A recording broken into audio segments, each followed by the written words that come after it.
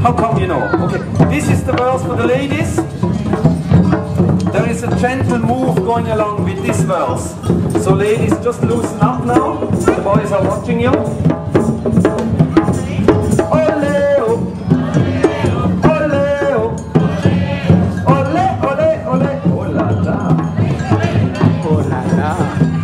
Boys, ladies?